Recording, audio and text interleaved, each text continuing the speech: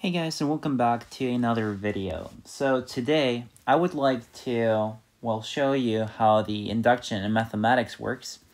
This is a concept that you're going to encounter in a lot of classes.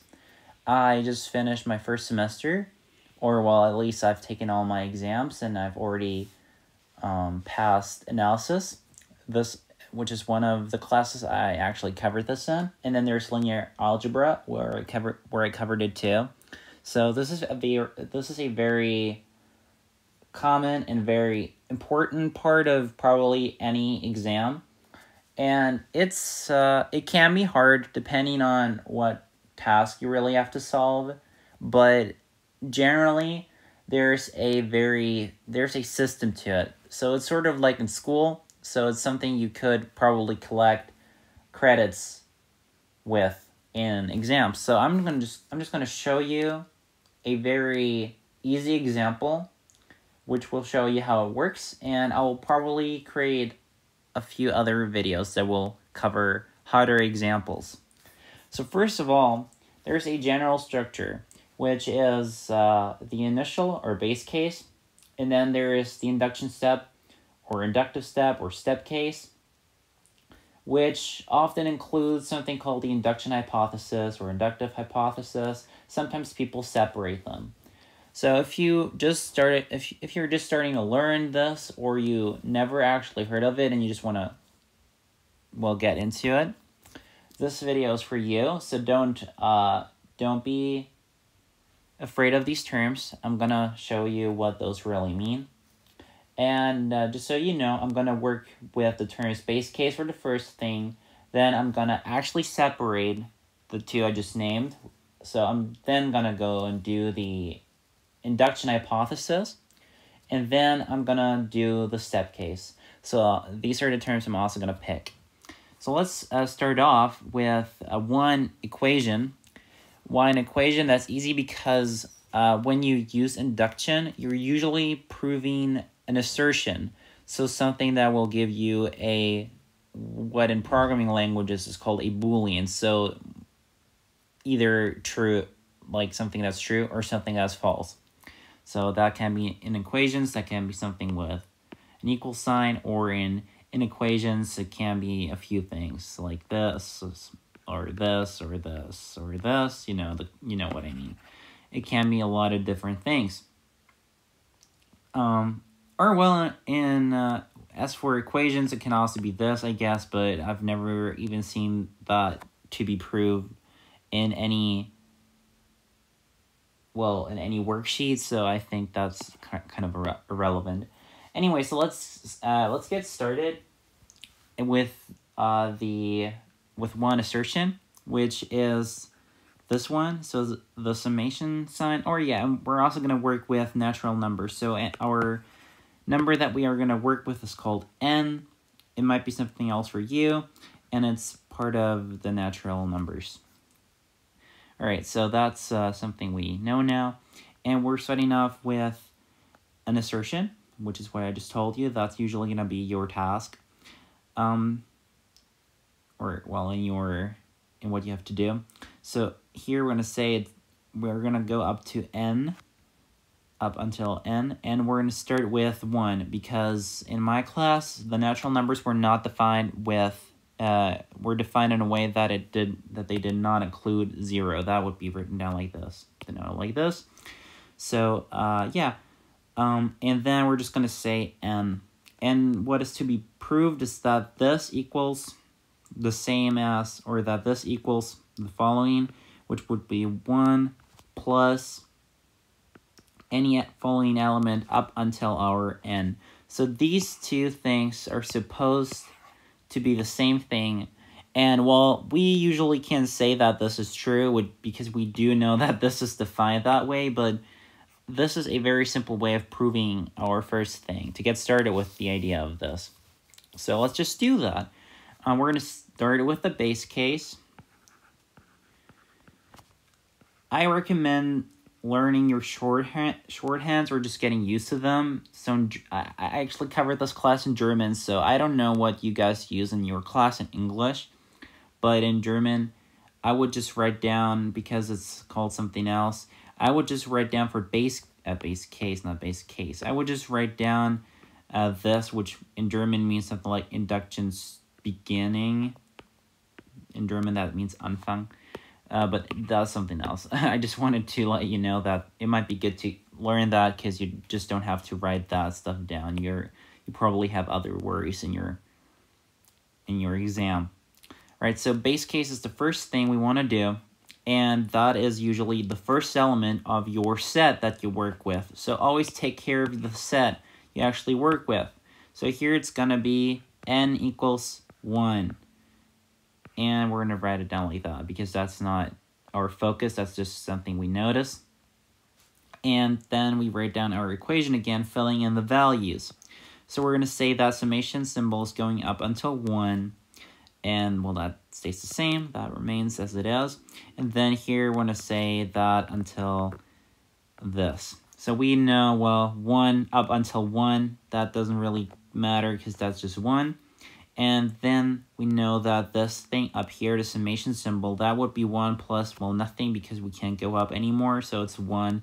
And 1 equals 1, and that's true. That seems very trivial, trivial and in a lot of cases that it's as easy as this.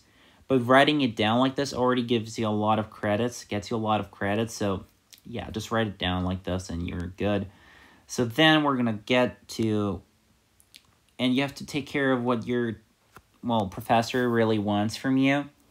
Um, in most classes, we separated it, and I'm getting to the induction or inductive hypothesis. So, induction hypothesis, I'm just to write it down like this, and we're to call that IH. Um, again, look what your professor tells you to use here as a shorthand if there is any that you can use um, because we're going to need it later and it's shorter to write it down that way. So what we what we see from this is that for and really write it down like this for any for any one element of our natural numbers, the equation or the equation assertion, usually you, you usually you would probably write, write down assertion, I guess. The assertion uh, from above holds true. If you if you don't want to be lazy, write it actually write it down instead of saying the equation or the assertion from above. So just write it down again or say from like what task you got that assertion. So if it's uh, mentioned in task one, write down the assertion um, mentioned in task one. So your professor really knows. I don't know how perfectionist your professor is, but um, I'm just saying it so you know. From above holds true. Um, yeah, exactly. So we got that. So that means it don't it doesn't really matter if it's 1 or 5 or 10 as long as it's part of the natural numbers, which is the set we work with here. And we're done. We have to write that down though because that makes it clear. That's our proof that we're doing here. And then we're going to get to the induction um, step. Well, no, sorry. To the yeah, I actually prefer the induction step as a term, but I've not seen like induction beginning or something as a term in English. And because I want to be consequent, I'm just going to call it step case, even though I don't like that term as much. But it's, uh, it suits better, I guess. Step case. Yeah, so, and before we start showing it, we have to understand what that really means. Well, we now show that our assertion works for any one element, as we uh, said here, but we don't know that if we got one element, if it works for the next. That seems really weird because that's quite obvious that it does, but um, we have to show that. And the reason this is going to work, I'm just going to take that away, is because we are working with the Peano axioms here. I hope that's what it's called in English. I actually didn't look that up. I'm just going to write it down if that was wrong, like in the description below or in the comments, just look that up if that was wrong and you didn't recognize that word I just used. but uh, that's just uh, the way numbers are defined. You know, like you have one element and then you have a following element in that sequence. So like ones, like the following element of one would be two, and the following element of two would be three. So you all you always have one element and its following element. So we show that here that this works. That this equation, this assertion holds true for the next element, for any one element that we pick. So that's why we write down if, oops, if the induction hypothesis holds true or counts or something like that if these or uh yeah considering that the IH holds true something like that along those lines. Um the assertion from above or write it down again if you are not as lazy as I am holds uh, if the IH holds holds true the assertion from above holds uh, true or also holds true for any following element of one element of IN. Something like that. Maybe you can actually be more precise than I am here. Um, maybe you have a better idea, but that's usually what I write down, which gets the point across. Um, what really gets the point across is the following, because we're now going to say that our n is actually n plus 1. That plus 1, because we work with natural numbers here, is, well, the following element, obviously. So step case makes sense, and you probably understood now why we're doing this. And always write this down, at least if your professor requires it, but I've never not seen that be the case, so yeah. So we're going to do that now and prove it. So we're going to write down n plus 1. I usually work with parentheses because that just tells me that I actually put something in here because it used to be n, and you know, like here we say n is this now, and this tells me that um, I just put something in here. And this remains 1, and this remains n. And this equals, this should equal, if we look up here, at 1 plus something till the last element, which is n plus 1. But now, see, like that's what we did about um over here, but that's not what we're doing here. In your, since you probably don't work with an iPad in your class uh, and don't have one in your exam, what I recommend doing is you put that somewhere here. You know, that's what you want to get to. So you write down something like node. And then you say the result we want to have. Or something like that. Result we want to have we want to have something like this so your professor knows you actually thought of something that's what we want to show because we want to show that this assertion still is true which is what we say here but that's not how we get there.